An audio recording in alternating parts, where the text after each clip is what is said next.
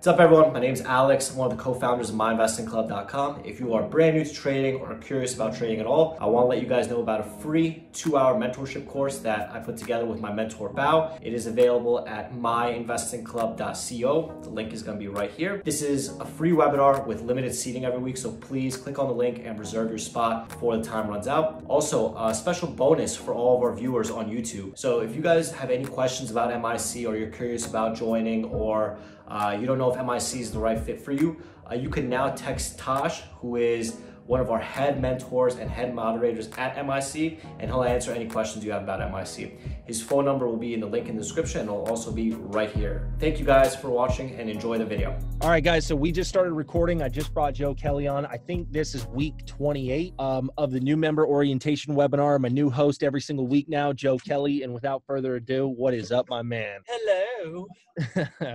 Ooh. Yeah. How was your day, dude? Dude, it was solid, man. I've been uh, I've been on a real hot streak. I've just been, dude. I've just been doing the process, man. Outer lines, backside, small size above VWAP, the thirty percent rule, the seventy percent rule under. You know, Yeah. just, dude. When you stick to process, you make money, man. When you don't, Just when you do- nailing, nailing everything per usual. You know, just Well, I nail lots of nails. that. I just passed more nails around than a carpenter. Just fucking putting it in. You gotta nail it. You gotta just nail and bail, man. You just gotta nail and bail. It's a way of life. But here's the thing, man. Like I would have lost my ass today if I was got if I got cocky and I saw this because I saw this here and I was like, man, you know, this is tempting. This is tempting, but I'm gonna stick to process, man. So I didn't touch this, and I was like, dude, break process, you fucking die, Oh God, can that's gross. I haven't even seen that stock until just now. bro. I don't even know what this Ugh. is. I think it was like, look at it, look at this, Joe. Look at the daily. I think it was like an IPO recently. Look at this, dude. Ugh. Look how disgusting this is. Ugh. No. Pass. Do not touch this short yet, guys. There's nothing to really base it off, man. Like I don't even know what. Is there even a called. catalyst? I couldn't find one, man, at the time. Let's see. Oh God. yeah, the stock hit the 52 week low on Monday. that's your that's Oh, your news. That's your catalyst.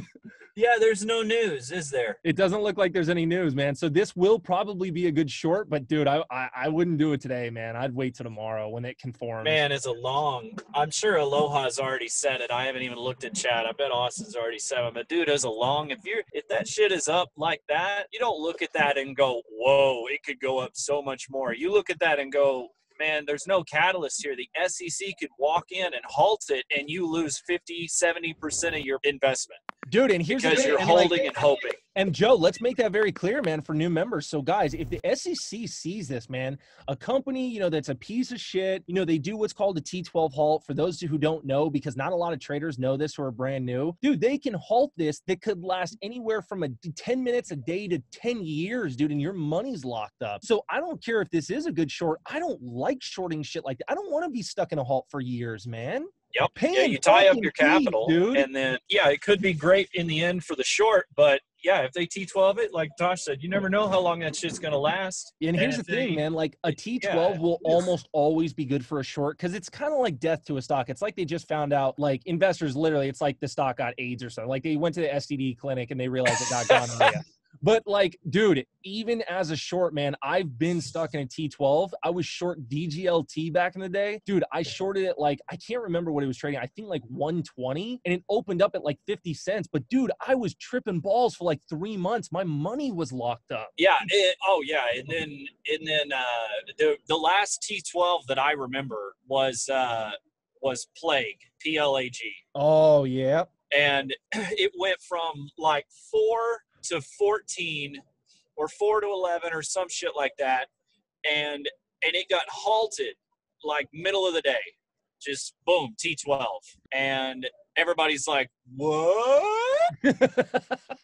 and and like four or five days later it opens at the first print the first tick four bucks Jesus. and dude. it was like you just lost you know 50% of whatever you put into it and you know okay as a long that sounds terrible but dude i've been down 100% on a short position before and i'm like bring it higher motherfucker bring it higher dude, Joe, can we just take a second and tell Sam he's sick in the fucking head? Oh, dude, I was telling him in chat already. I was like, happy for you, but you're fucking psycho. Dude, Sam, dude, what are you like- doing, dude? Dude, Sam, you're sick in the head, dude. You're sick in the head. you know bro. how you know when Sam woke up? That's that's when you know Sam woke up right there. he mi- he missed everything else, and he was like, "I can still nail." Oh yeah. He woke up and saw Lyft, got FOMO, went and traded Can. Let's uh let's see. Can you talk about your DTS short and thought process that went into the plan? Oh, mine it was it was very simple, man.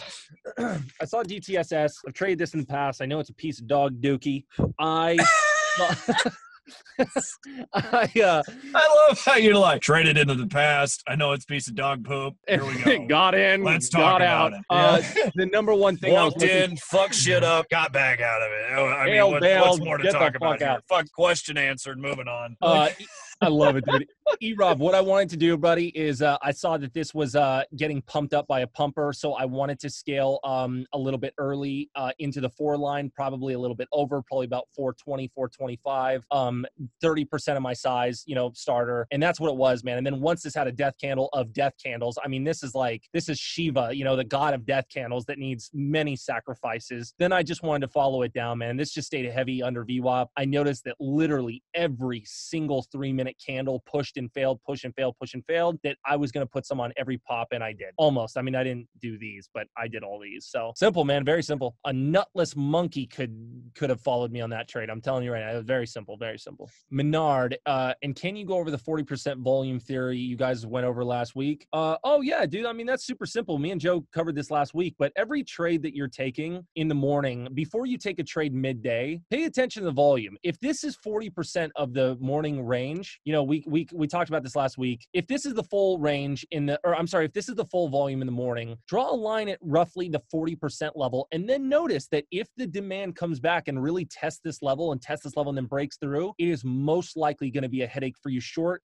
Maybe do a VWAP reclaim and then continue going. I mean, it's as simple as that, man. Pay attention to the volume. Another question: What do you think a good profit average per day would be for growing an account? I'm averaging about forty dollars per day paper trading, but am worried that would be all eaten up in commissions and locating the real thing. Uh, Joe, you're great at these, man. You want to answer that one? Yeah, that would definitely be eaten up in locates and commissions real fucking quick. So yeah, it it's uh the commissions and locates. Yeah, if you're averaging 40 bucks a day paper trading, but you know, if you're doing that through shorting, yeah, you're not making enough to make Right. to to overcome platform fees and data fees and just fees in general. When those fees Like- kick in, man, you're gonna be like, "Where Yeah. are all my profits, dude?" Oh, yeah, 100%. Yeah, 50, 60, 70% of that's going to be gone. Yeah. And so to me, like if you're averaging a hundred bucks a day, then you know, okay, yeah, you're fine. Moving on. But i- i- when you're averaging that that amount, you've got to be at a zero dollar commission broker or somebody that has free locates and someone you're not paying for platform either. And that's, I mean, that's that's your only options. That's your options. You've got to be